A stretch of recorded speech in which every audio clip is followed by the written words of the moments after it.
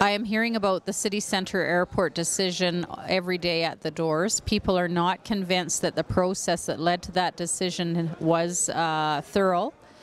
And um, people are also not of the mind that we should close and sell those lands. They think there's something more behind it that has not been fully disclosed.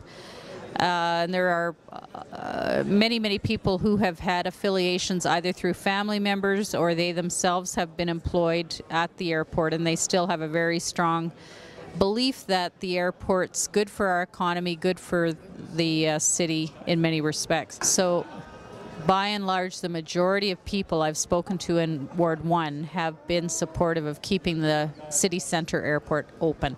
Is it an issue of income? Is it an issue of age? Most of the people I've spoken to about the airport who have supported keeping it open have been 50 or older. Uh, the two people who were supportive of closing it, I would say, were in their 30s. The thing I want to talk about the airport is that I really believe, before we even discuss what the future should hold, we have to have a fundamental discussion about the value of public assets, both whether it be land or public utilities. I believe the public should have a voice and a vote when it comes to uh, the sale or divesting of public assets. Capital Power was worth about $4 billion. There was no public engagement or discussion on that. The airport lands are probably worth in somewhere in that range. Um, and previously we sold Gold Bar Wastewater Treatment Plant also largely without a lot of public engagement, and that was worth also about a billion dollars.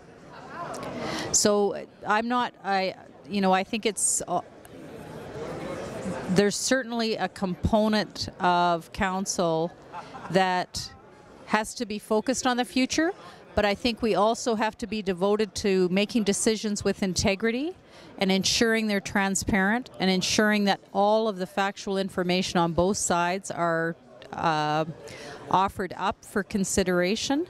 In the airport decision, again, I felt the hearing was very biased. Most of the analysis was slanted towards closing the facility.